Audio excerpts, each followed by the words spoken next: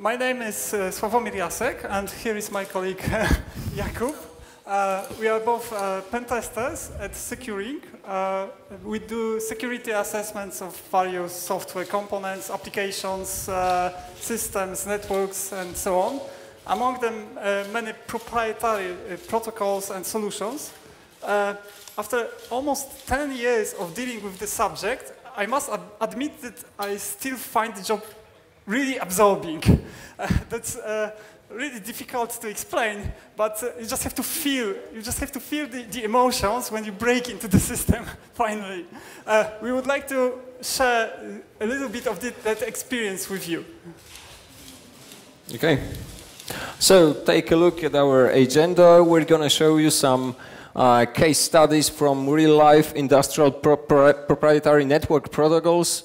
So we can see they are everywhere in home automation, uh, I recently did a big research on pull printing solutions, uh, remote desktop software, and uh, forex trading software. Uh, and we'll also show you, show you uh, cheat sheets for uh, owners, for deployers, architects, and developers, as well as testers, penetration testers of these solutions.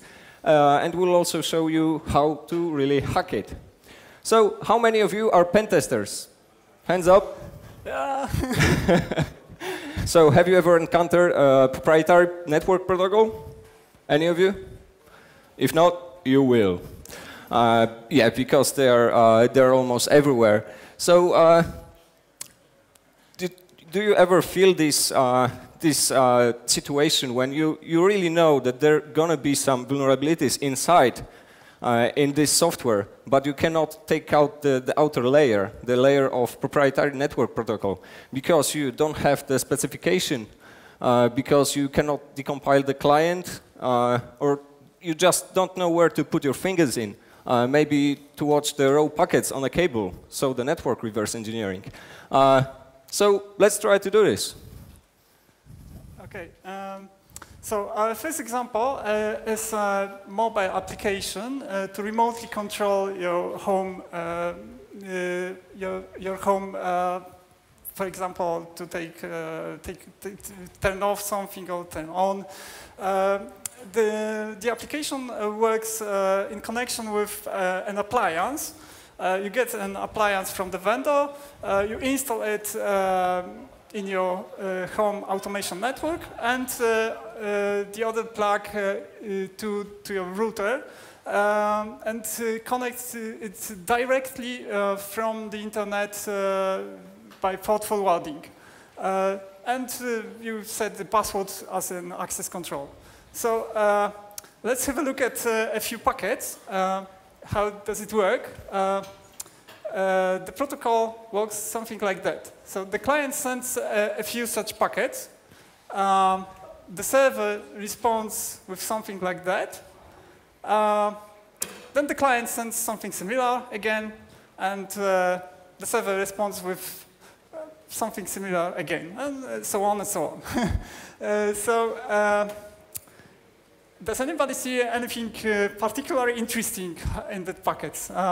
anything suspect what could be uh, uh, some kind of hole in security. Uh, we've got some gadgets, so uh, if you can help me, I can give you some, a cap, for example, with SQL injection. Uh, uh, no, it's not XOR, XOR encryption. so, well,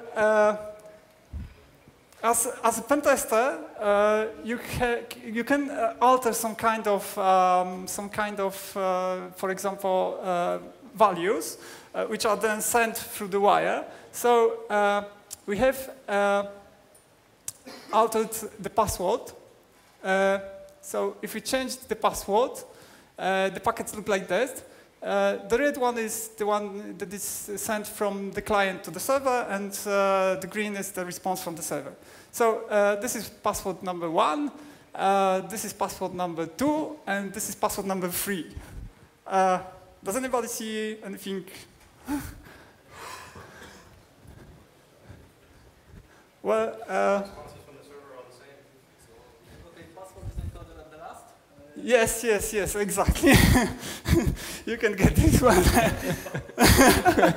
okay, you can get a free beer after that. See you later. okay, thanks. So uh, it turned out uh, that uh, this is the password encoded. Uh, I mean, uh, it's just uh, um, MD5 of the password, not XOR, but you were close uh, of the first 10 bytes of the password. And this is actually uh, what is sent to the uh, internal uh, home automation protocol. Uh, and uh, the, the, green, the red one, sorry, the blue one is the things returned by the appliance to, the, to, to the mobile application. So there we have, for example, temperature or status of something and so on. does anybody know mm, what's wrong with the protocol? Sorry? Good. Uh, sorry, I didn't hear you. replay. It's the replay. replay uh, yes, of course. We can do the, the replay attack. Uh, that's one of the uh, problems because the password is always uh, the same and it's uh, enclosed in each packet. So we don't really need to know don't, don't really need to know the clear text password. you can get a cap. So, uh, of course, we can, we can also do sniffing of the protocol because uh, we can see that there is uh, clear text uh, status of that. Um, of course, we can do man in the middle, do the replay, uh, I mean, connect directly to the appliance. Uh, the recommendation for that was to put it in SSL. So uh, after a few months, uh, the vendor did uh, the SSL support. It was a little bit of problem to uh, implement it because they had to uh, deploy it at the same time on the appliances and uh, mobile clients for, for each customer. And at the end, they made something like that. Does anybody see anything wrong with this piece of code? No. no, do it at the same time. you are out of Anybody else? okay. Uh, do you have any mobile application developer? yeah. They all do that. yes. Uh, sorry? There is nothing wrong here. Yes, exactly. Exactly. exactly. Uh, they created empty trust store, trust manager. Uh, they, then they didn't uh, check any certificate. They trust all the certificates. Uh, so uh, as you can see, we can we can still do, do, the man in the middle attack. well, that's very common in mobile applications. so we saw it even in banking applications. Okay, uh, well, there's a little bit uh, of uh, interesting side effect uh, because uh, the vendor decided uh, to sell the appliance for a big amount of money and give away for free the mobile applications on Google Plus, for example, or Google Play Store, etc. So it turned out that I can simulate this very expensive appliance with a single line of code just uh, on my Raspberry Pi over here. Uh, so I just simply uh, listen on uh, a TCP port, uh, read just the five bytes, uh, cut off the password. The password is not, not necessary for me. the interesting part is the green one for me. And I then directly send it through TTL converter to my home automation network, network. So it works in my home. well, I had to a little bit uh, tinker it for the SSL version, uh, generate my own self-signed certificate because application works with that. Uh, okay. Okay, so I mentioned you before that we did a big research on pull printing solutions. So first I will try to explain you what it is. Uh, so in normal situation, a user will just print the files directly to the printer. But in this case, he sends the file to the server. Uh, it's, uh, it's in the print queue. Uh, then the user goes to the printer and at the printer interface he authenticates either by swiping his card or typing his username. And then the printer sends a communicate to the server on, on, this, on that line uh, to release the print queue and collect the prints from the server. Uh, so why we, did we decide to hack pull printing solutions? Mainly because they're widely used. They're used in banks, in financial institutions, in big corporations, because they, they all handle a lot of confidential data, uh, such as contracts, payrolls, director documents, and so on. And it's getting really, really popular. It's not only in top fortune companies, but also mid-sized and small businesses, mainly because uh, this is really saving money. Uh, so uh, let's make a quick threat modeling, uh, like risk for pull printing solutions. Any ideas? Exactly. So this, these are the print queues. Uh, so I would say, so so the first one is actually sniffing the documents on the line between the server and the printer, getting to the other print queues. So we would not like to have subordinate employees getting to the director print queue. Any other?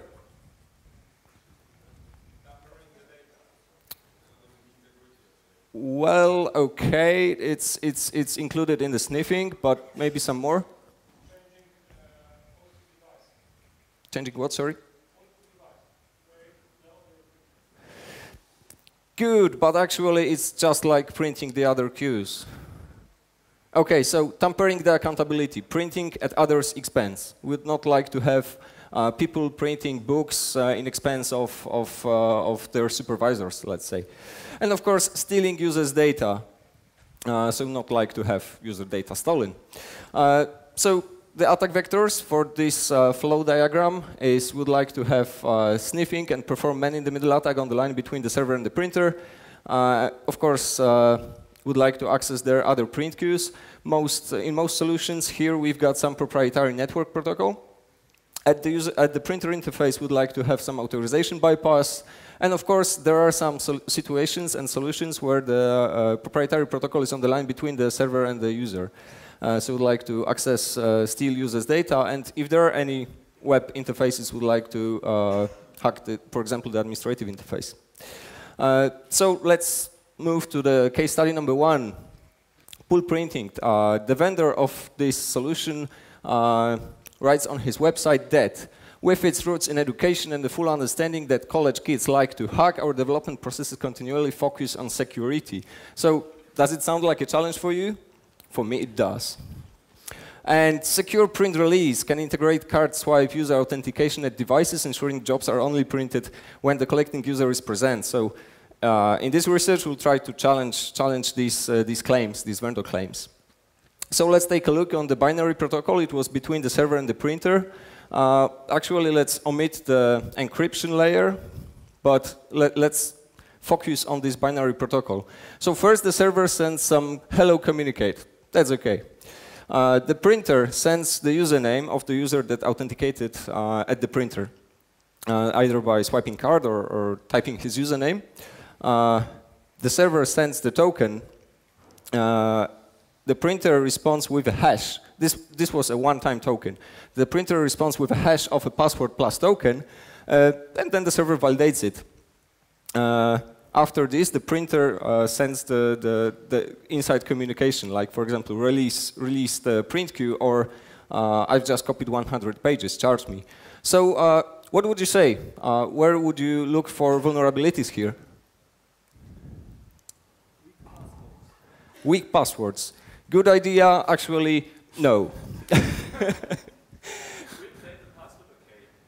Replaying the password doesn't work as this is one-time token. This is a challenge response solution. Yeah, of course it could, but it didn't. Um, okay, good, okay. but... Let's assume the okay. challenge response is okay. so actually, yeah? That's that's a good idea. Give him something. Uh, uh, so we tested we tested this authentication process, and there were no, no vulnerabilities there. The the hash algorithm was okay, and and no no other attacks. But let's focus on these these other two communicates. So release my print queue, and I've just copied 100 pages. Uh, this is Wireshark capture from this traffic. This is already after authentication. Uh, the blue ones are from the server. So the server sends some uh, user permissions. Uh, actually, there were some vulnerabilities here, but, but it's not the point. The point is that the printer sends uh, a communicate, which is begin device transaction, for guest XYZ. The guest XYZ was the username. Uh, so, what would you do? Exactly, change this guest XYZ to the other user. And that's what we did, and that's what worked. Uh, so actually, this communicate release my print queue was not release my print queue, but release print queue for user. I typed, and not just copied 100 pages, but charged user guest XYZ for copying 100 pages. Brilliant. okay, so what were uh, the consequences of this attack? Uh, of course, sniffing, done. Print queues, done. We could tamper the accountability, and as it turned out, we were able to uh, still use this data because the server responded with it. Uh, so all key risks were broken. Uh, we then tried to uh, notify the vendor, of course. So I would like to explain our research process. So first, we contacted the vendor. Uh, we asked him for uh, software. We said that we just want to hack your software. so he gave us access to the knowledge base at support service. That was, that was good. That was actually amazing. That is not what happens normally. Uh, and as well as all versions of software. And when we sent him the vulnerability report, he responded in a few hours and released the patch for his software in a few days. And in, in our communication, he was really, really happy to be pen tested. So this is type of vendor that we would like to cooperate with. Uh, okay, your turn. Uh, okay, as another example, we have a uh, remote desktop protocol. Uh, it's some kind of um, additional layer on uh, X Windows, uh, adding encryption, compression, access control, and so on. Uh, it's used mainly um, for graphical mainframe access for critical business operations, which must be properly secured. For example, it's used in banking industry for forex trading um, forex trading uh, operations. So the money involved are, are really high. Uh, the vendor claims that it has more than 100,000 users around the world. Uh, and it's uh, FIPS certificated. Uh, so it uh, ensures in compliance with the FIPS uh, that the data is properly encrypted on the wire and the proper, certific uh, proper certificates and uh, algorithms are used. So uh, let's have a look at the packets again. this is the first one sent by client to the server. that's the server response. And what happens next is generally an SSL. We'll deal with that SSL later, but uh, let's focus on the first on the first two packets. Uh, any ideas how to attack them? Uh, which one? The first one. Uh, well, that didn't work. The server didn't respond anything.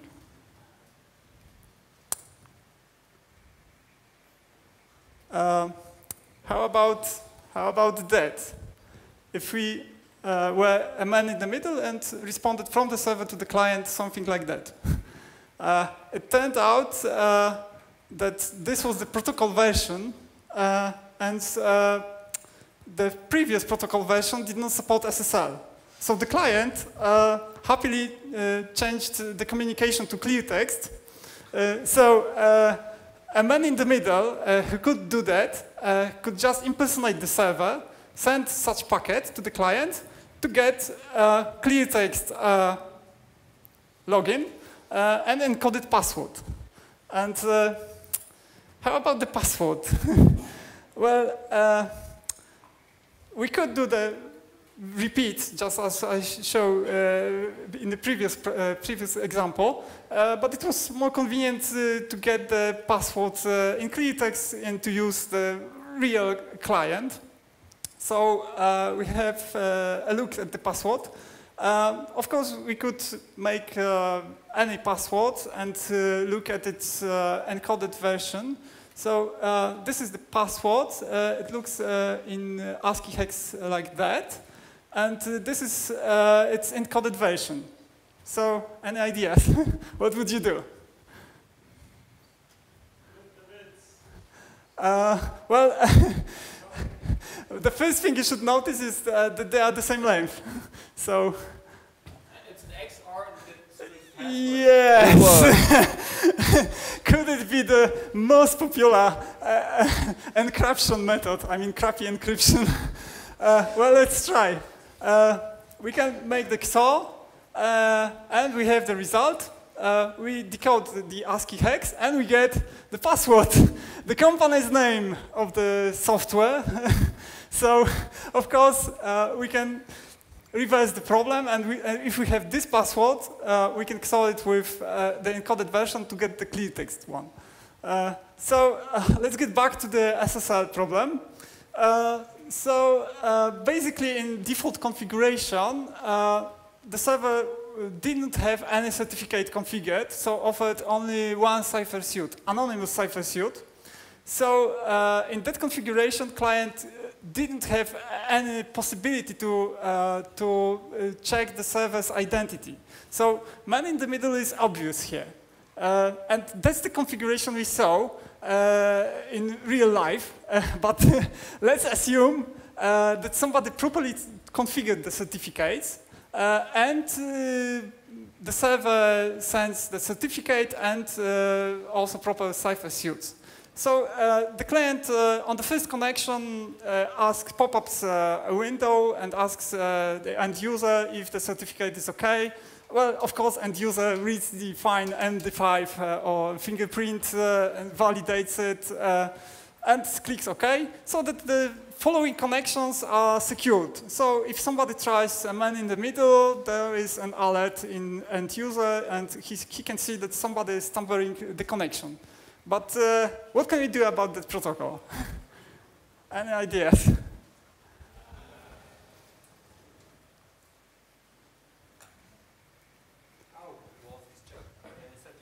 Check?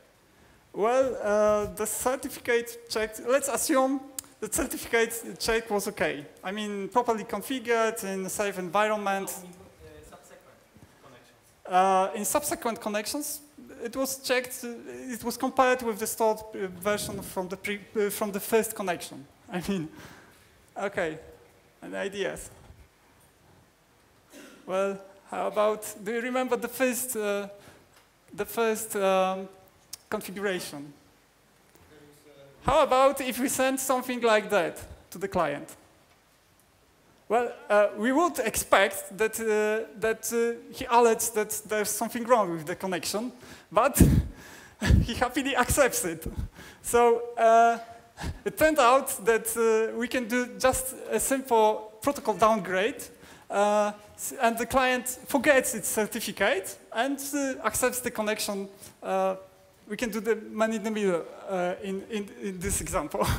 so, uh, well, this communications with the vendor was not as good as with Kuba.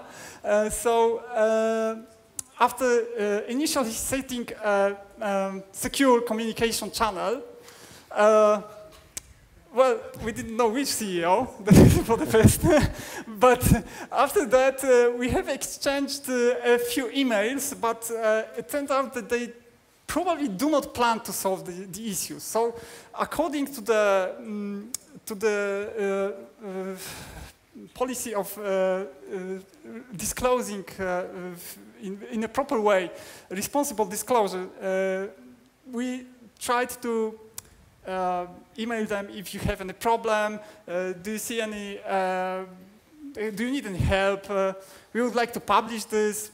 Well, uh, it turned out that they probably, uh, well, we just felt like that, even with STDR. uh, so we finally, after a few months, could go for our favorite full disclosure. But unfortunately, well, the vendor did not react even after full disclosure. Uh, but uh, a few weeks later, uh, they shut down the full disclosure. Sorry, guys, we didn't want that. Uh, so, uh, Yeah, okay, let's switch to the pull printing solutions and talk about encryption. So, yeah, we like that these vendor claims. So let's take a look on the vendor website. So they say that is a modern printing solution that safeguards document confidentiality, and of course, its user authentication provides airtight security. Doesn't sound good for you? For me, it sounds like a challenge. So. Uh, some more corporate blabbling from this vendor. Uh, he says that documents are delivered only into the right hands, information is kept confidential, there is no risk, document collect collection is safe anytime and anywhere, and all the integration workflows are kept secure. Uh, so let's take a look on the binary protocol between the server and the printer. Uh, first, some uh, first look on communication. We see uh, TCP protocol on communication on two ports. Uh, there is no clear text and there is no SSL, but some encryption is going on the cable. We don't know what is it, but it seemed to follow some scheme, and I would like to show you this scheme. So let's take a deeper look on that traffic. Uh, let's make a quick quantitative analysis on this traffic. Uh, so first, free communicates, uh, then a lot of encrypted, uh, encrypted small packets, uh, after that, a huge load of data from the server to the printer. What do you think it is? Documents, yeah, probably. Uh, and then a short response from the printer. So, uh, so now the, the, the un full analysis of this protocol. The first communicate from the server to the printer had, uh, was constant and uh, it had uh, 263 bytes. It looked like that. You can see the new server crypt uh, and a lot of null byte padding so probably crypt, probably some encryption or encryption. Uh, okay, the next, communicate from the printer to the server. Uh, here you can see 96 bytes, some, some uh, start, start communication, then a lot of null byte padding. Uh, let's call it variable x bytes. Now it is uh, 64 bytes, so uh, 512 bits of information. And similarly, a lot of null byte padding we had a possibility to access the administration interface and configure this solution, and uh, it offered some modes of encryption. Uh, we could uh, change the asymmetric encryption and symmetric encryption. The asymmetric was uh, between RSA uh, 512 bits, RSA 1K, and RSA 2, k So this was uh, in configuration of RSA 500. But what happened when we changed it to RSA 1024 bits? Of course, th this middle part was doubled. So probably, what do you think? Yeah, the public key. Uh, okay. Uh, then the server sent always different 64 bytes. This is some, some uh, start of communication, then 64 bytes. Uh, any ideas? Is it a version number somewhere? No. Yeah, the symmetric key for if it was an SSL, this would be a symmetric, uh. a symmetric uh, key for the for the symmetric encryption. so yeah, but it, it was good. Okay. So uh, then we found in this huge load of data from the server to the printer, we found many identical 60-byte blocks. Look like that. Okay, now I want to ask you a question. What do you see here? ECB mode of encryption, ah, exactly. exactly. I, I, think we are running out of, uh, of the glasses. Okay. So do you remember this, uh, this ECB penguin? So this is a basic Linux penguin bitmap. If you encrypt this with ECB mode of encryption, you get this. It's, it maybe the colors are not the same, but it's easily reversible. So the print jobs are the PostScript files, which are basically text files. Uh, so uh, using them for encryption in, in the print jobs, not a good idea.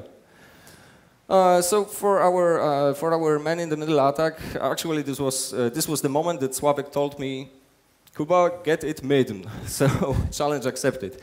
So there are some basic assumptions for our uh, for our man in the middle script. Hello. So if this was an SSL, this this would be a hello certificate, the session key for the symmetric encryption, and PostScript ECB mode um, files. So we did, it took us a long time, but, but I will just send, uh, uh, show you the consequences. So after reverse engineering the protocol, we found hard-coded RSA certificates in the printer uh, embedded software. Uh, so not very good. Completely no truster. In this case, the printer sent uh, its public key, so the server should check if this particular printer can, could connect to the server. And there was no truster, just like in the previous example. Uh, we found ECB mode of encryption used for traffic uh, for the print jobs. and as well as uh, the same protocol used in the admin interface, in the thick client that connected to the server for the administration interface. Actually, after taking out this uh, layer of binary protocol, we could find, find some uh, more vulnerabilities there. So really, really exciting. Consequences, of course, the same. Sniffing, print queues, accountability users data, everything. Okay, what happened when we notified the vendor? Because this was the most problematic there. Uh, we sent him a clear report and he responded that many of the devices do not have the CPU power that allows a fast login response and at the same time establish high security level. Really? What the hell? So actually this is the problem that uh, pull printing solutions uh, vendors face. So they face the problem of a fast login response, not a high security level. But they still, they claim on their website, we have airtight security. Uh, so they also responded that changing ECB to CBC mode of encryption will be more CPU intensive and introducing that may cause a slower performance, uh, which the customers are very reluctant to see implemented. Are you kidding me? On a single threaded processor on the printer, CBC, as for our calculations, it wasn't slower. So uh, basically they could change it. And the last thing, they tried to convince us that this solution was secure because they already tested it in other high security customers.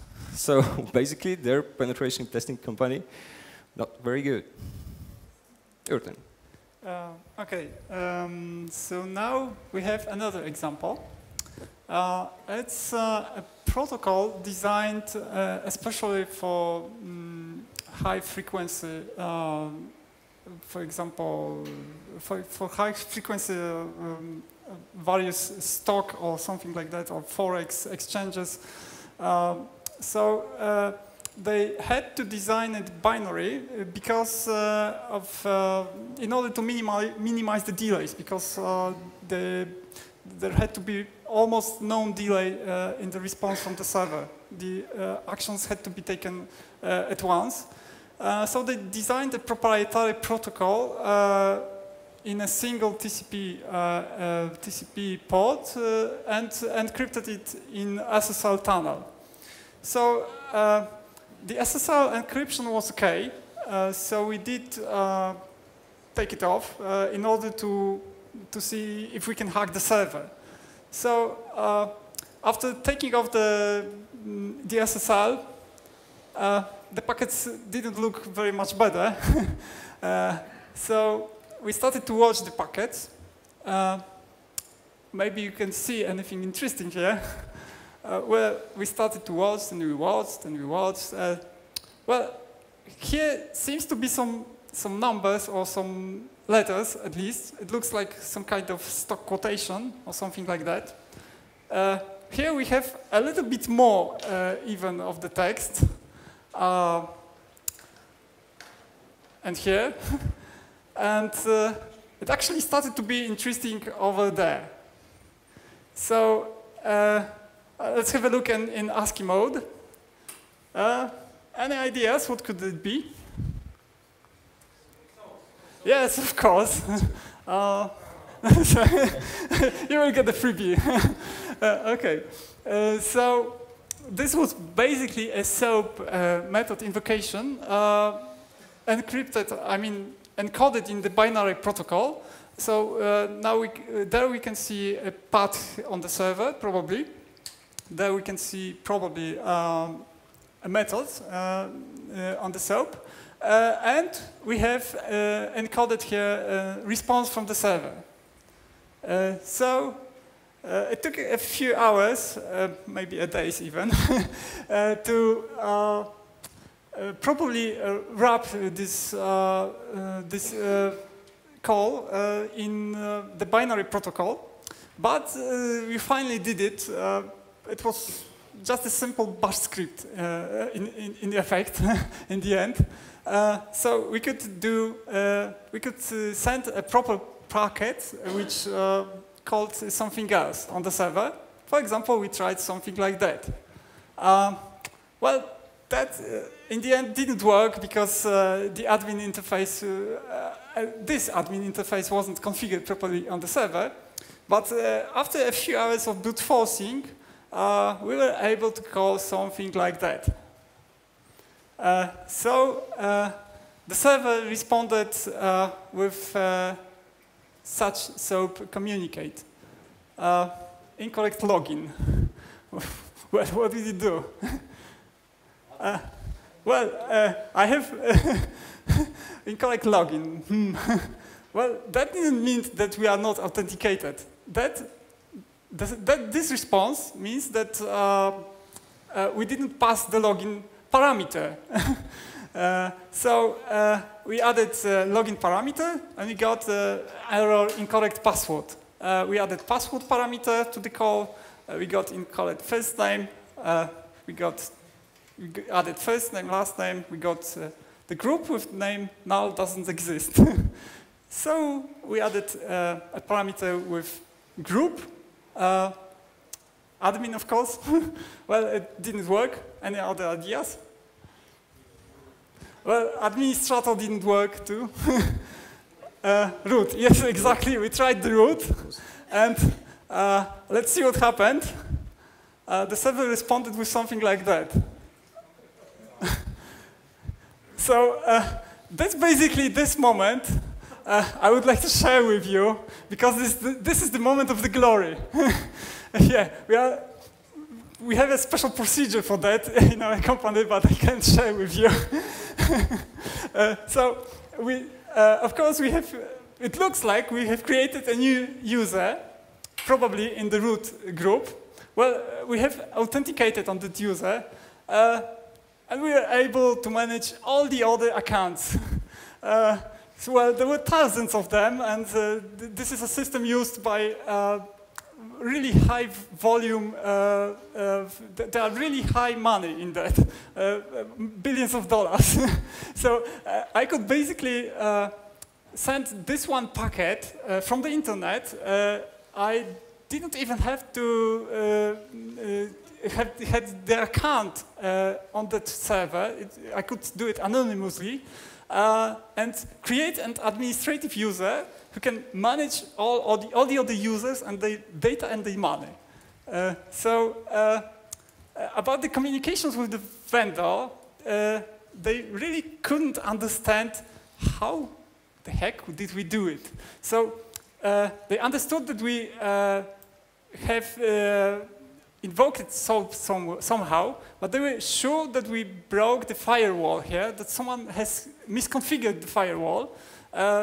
And uh, they couldn't believe that, that we were able to decode the protocol and use it uh, to uh, invoke some uh, other uh, some other web services. Um, so of course they had to repair uh, a few things in their in their application, and there were other problems in the backend. For example, to uh, excessive error messages and uh, lack of uh, multi-layer protection. Uh, okay. Okay, now some cheat sheet for owners who deploy this. Uh, these kind of solutions, where are the proprietary network protocols? So uh, first, get it pen tested. Do not fear. Get a good company to pen test it. You should verify the vendor claims. So you should ask for the secure software development lifecycle. You should uh, ask for procedures. Uh, how do they handle incident response? How do they handle? Uh, how did they handle the previous bugs? Uh, and if you are developers, uh, security by obscurity doesn't work. So the protocol is not secure just by its secrecy. Uh, so somehow it can be reverse engineered. First of all, use a proper encryption. If it's possible, avoid to write your own cryptography because uh, mostly you will mess it up. Uh, use known standards uh, and, and really take care with, with these implementations. Uh, and of course, some basic uh, vulnerability, uh, sorry, basic security cheat sheet. So use input validation, check the access control. If it's possible, use network level access control to, to countermeasure the, the man in the middle risk. Uh, if it's possible, use IPsec or VLANs or 802.1x network level access control.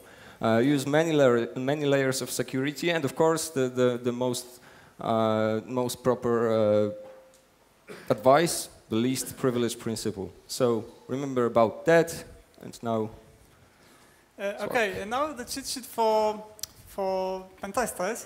Uh, well, uh, we tried many different approaches uh, to hack the protocols, uh, and uh, there is no uh, simple answer for the question how to do that, because the the proper answer answer would be that depends. Because you have to bear in mind that for mm, pen test, uh, you have usually very limited time, and you have to focus uh, on the mm, on the uh, target uh, so that uh, uh, some parts of that, some approaches are ways to, to nowhere, and you have to know that you have to cut it off. So, of course, we can try to decompile the client. Sometimes it works, uh, especially if it's Android application which is not obfuscated. Uh, it was the case uh, with the MD- MD5 password uh, for the home automation protocol. Uh, well, we could just uh, decompile the mobile application and we knew that it was M- MD5. Uh, but sometimes, uh, for example, with remote desktop uh, protocol, it's, it can be really hard because you can uh, spend uh, hours and hours uh, looking at the hex rays, but uh, you don't see uh, anything that, uh, in fact, brings you closer to the understanding of the protocol. But you can see um, some kind of, in this, for example, in this example with remote desktop, we have seen some kind of distractions. For example, something like that. So we knew that piece of software was probably written by some Pole, uh, probably named Sylwek, uh, and he knew the old Polish joke uh, about Stilic and Russian piano player. Uh, but uh, that, didn't, that didn't bring us to, to nowhere closer to understand the protocol. Uh, we just looked at the, at the well, of course, you can look for the manu- manual. So it's for some clients, uh, you have uh,